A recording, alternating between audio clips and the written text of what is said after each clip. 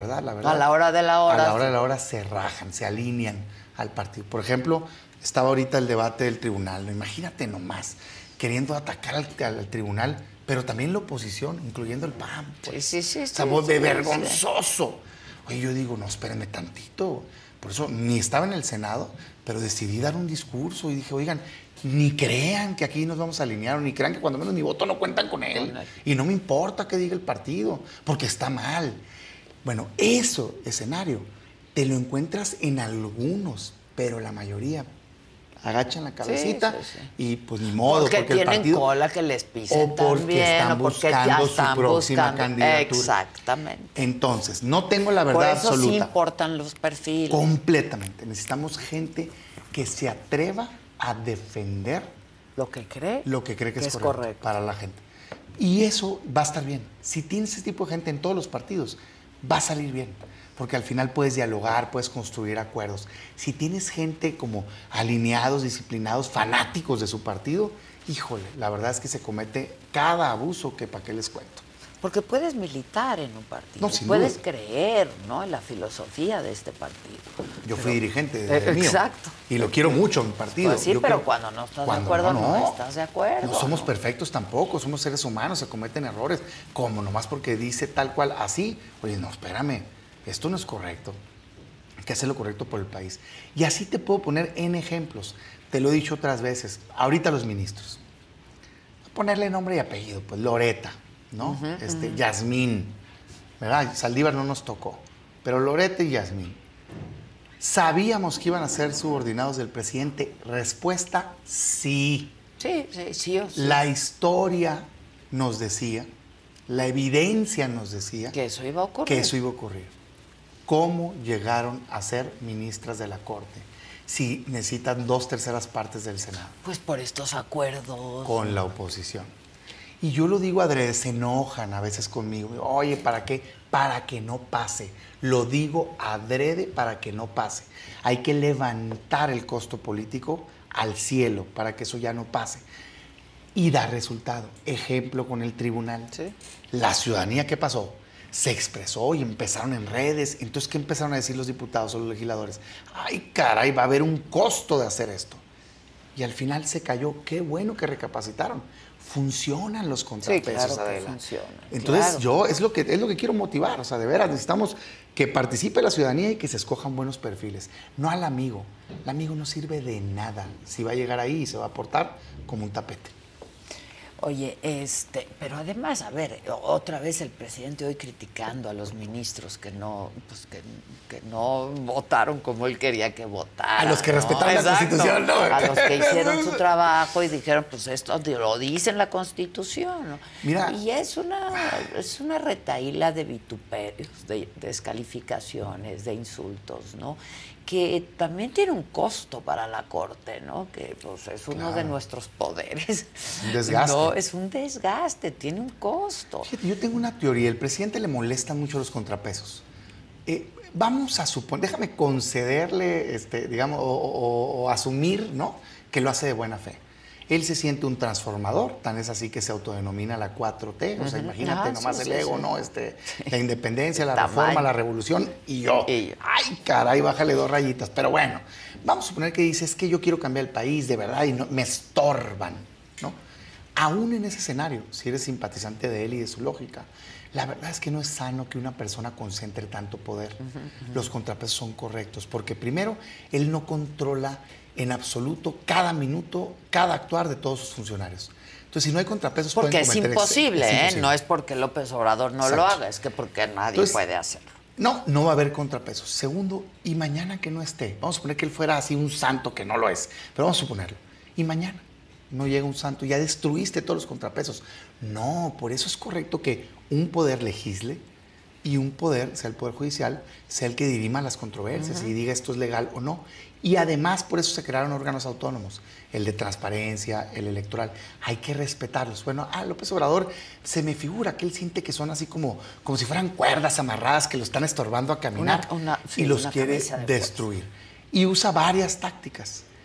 Primero, trata de desaparecerlos. Ahorita anda con la moda de desaparecer, quiere desaparecer el INAI, quiere desaparecer... ¿Viste la caricatura de Calderón?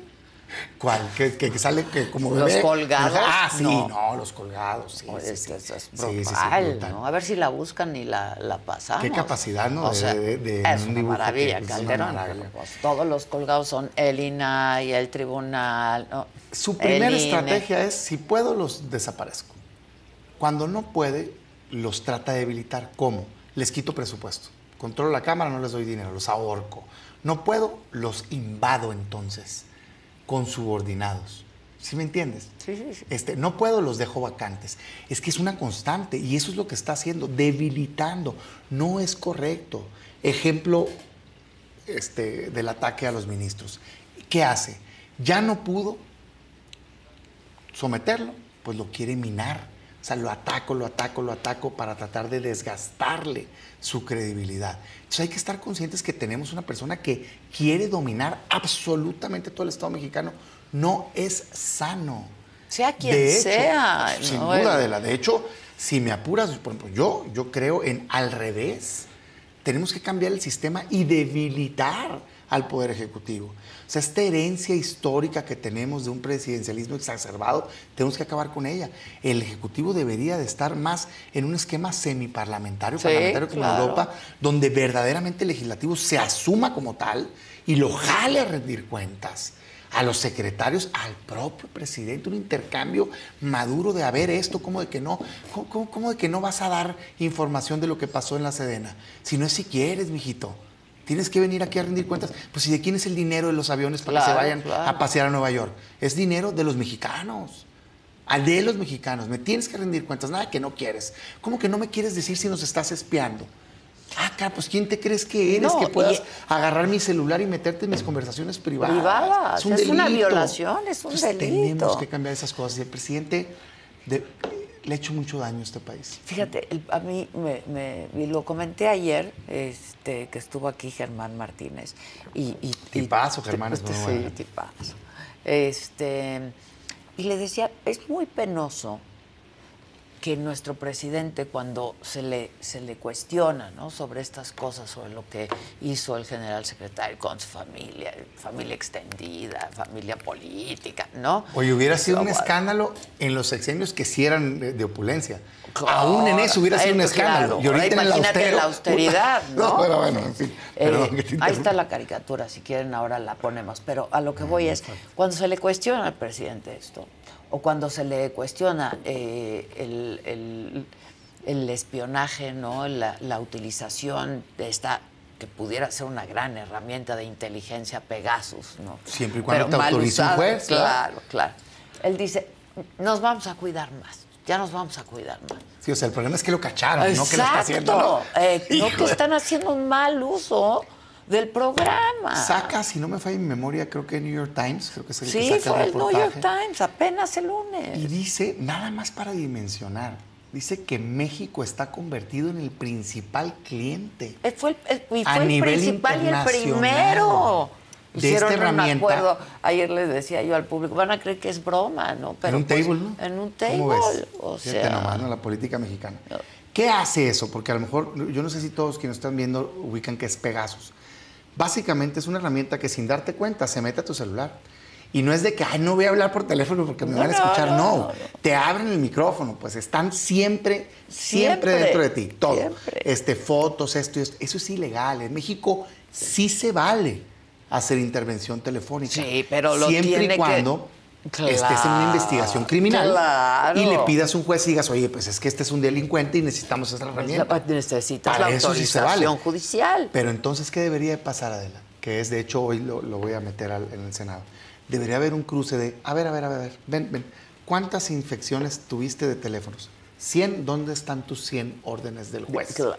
Porque si no, estás cometiendo un delito. Pero no se dejan. Pero les va a llegar el momento donde se les va a rendir cuentas a fuerzas porque es un abuso. Ese creo que ha sido uno de los principales males. Otro tema que a mí me, me quedo viendo y digo yo, híjole, esto nos va a llevar tiempo en componer es el ambiente de odio, Adela, que ha generado el presidente. Y se contagia, desgraciadamente. El presidente todos los días hostiga, ¿no? Ataca. Este, si no piensas como yo, eres mi enemigo. Y incita. Y eres malo, no, ¿No? solamente, eres de los malos, ¿no?